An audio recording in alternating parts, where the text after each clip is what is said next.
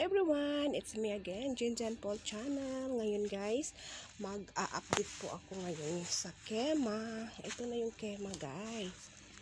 Yan.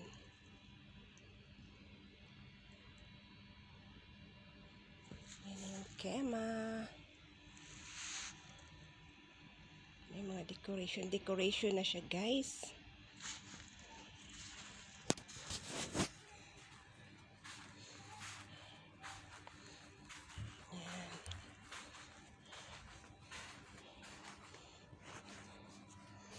Yan dyan siya. Sila, manonood sila ng ano, palabas dyan.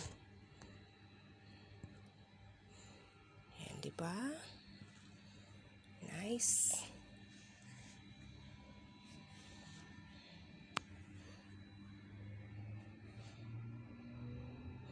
Dito naman, ilalagay yung apoy.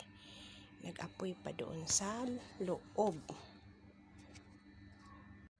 Yan, nag-aapoy po tayo para ilagay natin doon sa kema, para doon sa mga camel kasi parating na yung camel, nilalamig daw sila, galing sila disyerto.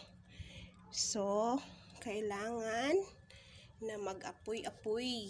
Ilagay doon sa kema, guys. Yan. Yan siya.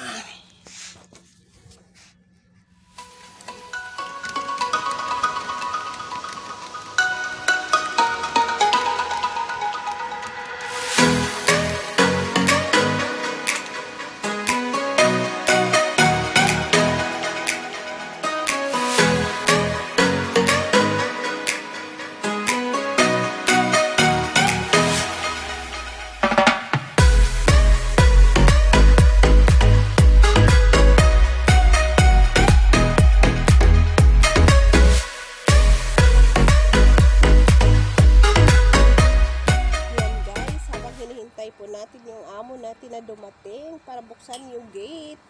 Duyan-duyan muna tayo dito guys. Habang hinihintay po sila, mag-relax-relax naman muna. Habang wala pa, wala pang otos.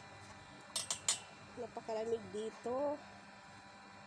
Masarap matulog. Walang maingay. Yan siya guys. So guys, dito po nagtatapos ang ating video.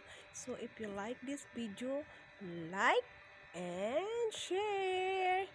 And don't forget to subscribe my YouTube channel, Jan Jan Paul channel. Thank you. Sa hindi pa po nakasubscribe po sa aking mga kaibigan, please subscribe naman po. Thank you so much. Mwah.